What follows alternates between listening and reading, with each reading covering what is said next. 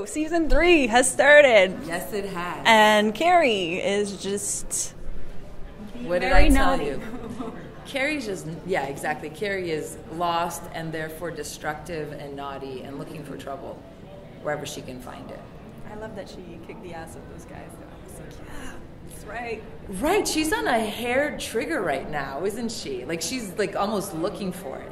I mean, did you see how she was just like standing there while he was massaging her butt?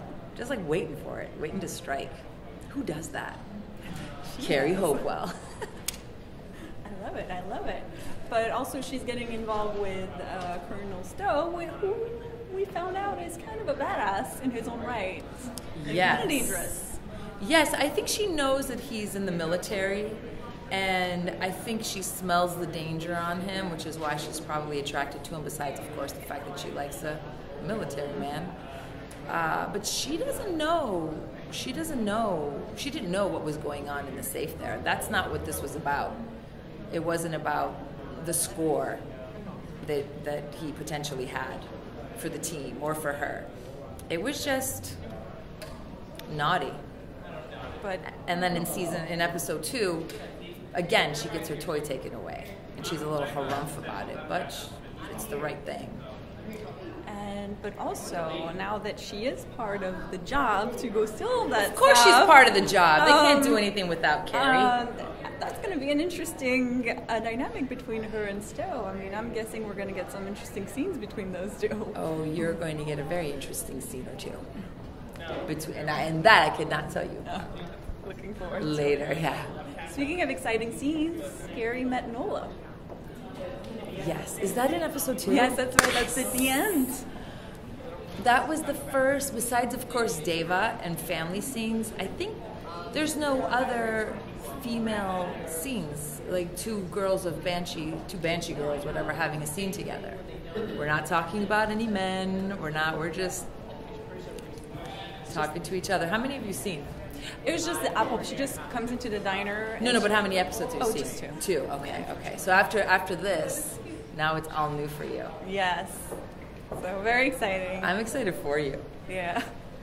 And so, can you tease anything about Nola and Carrie? Is it the last that we see of them together, or is there more? I'm just going to let everyone imagine what they will about what's going on. Fair. Nola. It'll be something surprising. Or maybe not surprising, I don't know. That's what I will tease. Oh, so mean, so mean.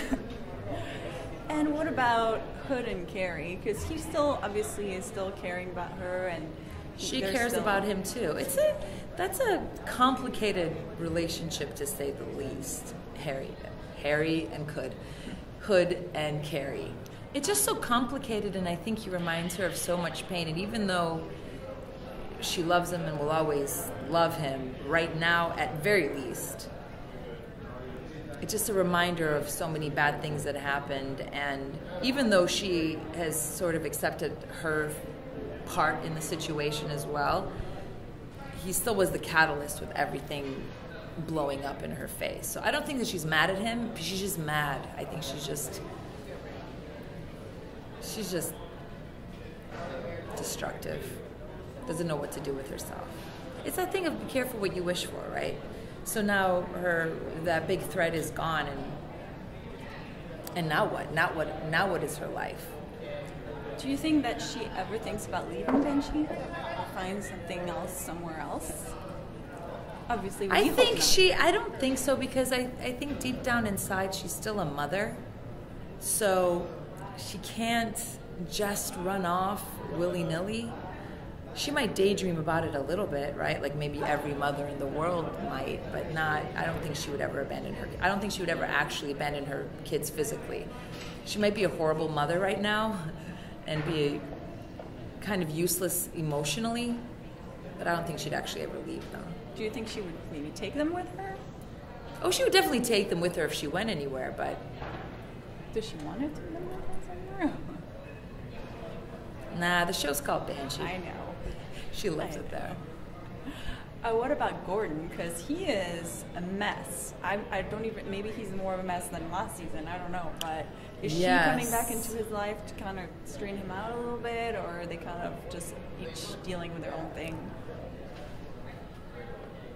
He's actually going to school her a little bit. A little bit.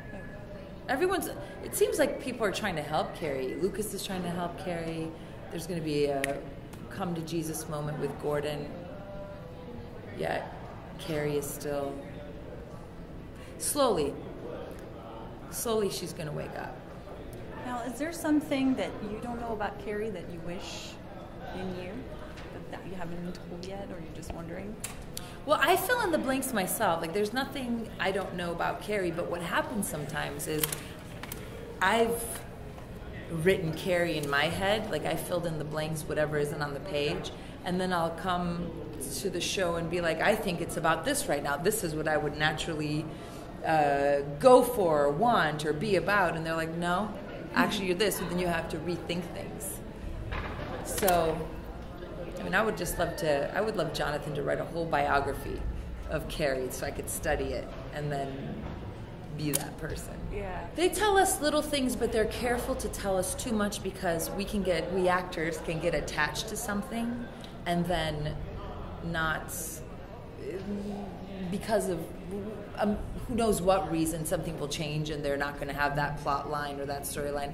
I remember Trieste, Kelly Dunn, who plays Siobhan, uh, they, she was told at first, like, oh, you're going to have a horse. And then for, I think, all that stuff, there was some horse drama that was happening in television, and they were not about to give her a horse or any kind of animal. And they were like, no, you're lonely, you're alone. And she was so bummed that she didn't get a horse. She's like, "Where's my horse?" Exactly. So, like, I think they're careful to tell us, to tease too much even to us in the beginning because of that. And because they're not certain, you know, things change. Like whether whether it's technical because of a location or just an imp- it costs too much or whatever it is, things can change. Now you. I know some things though, but I'm not telling you. No. But you don't want to know, do no, you? I don't. You don't actually. Fundamentally, I don't because it's so much fun to just be like, "What?" Because so much, so much of our show is shocking, or like meant to surprise you, or nah moments that it's just no fun if you know. I know. I have to ask. I have to ask. You must. Yeah. You gotta ask, and I must tell you no. Yeah, exactly. And um, you brought up Siobhan. Are we going to see Carrie and her get some scenes or some things? We are going to happening make sweet, sweet. Just kidding. uh, no, I don't really have any scenes. I, I mean, I, we were in the same. We get excited even when we're in the same scene together, kind of like in the first episode of season three when we were together in the diner. We're like, we're work together. We love it. Oh, so no, I don't think so. four. Unless I'm forgetting something. I don't think I am. No. And if you could talk to Carrie right now, what would you tell her? girl, you need to go on a meditation retreat or some kind of a therapy, some therapy, something. Is it draining for you to play Carrie this season, or was it draining? Mm, I I think this this season is lighter for me than the other two, in a way. But by the end, but usually what happens with Carrie is things get amped up at the end. So we just we also just care so much about this show. Like we we put everything we have into it. We really do. So yes, it's draining, but I love it. And my final question for you: If you could go back in the past and talk to yourself when you first started Banshee, what would you tell yourself? That is such a good question. I don't. I guess I would say start taking vitamin K. It's going to be a long ride. And It's going to be a long ride. No, because no, it really helps with the bruises, and I think I'm vitamin K deficient, and I need. To, That's why I bruise so much. I'm always talking about it.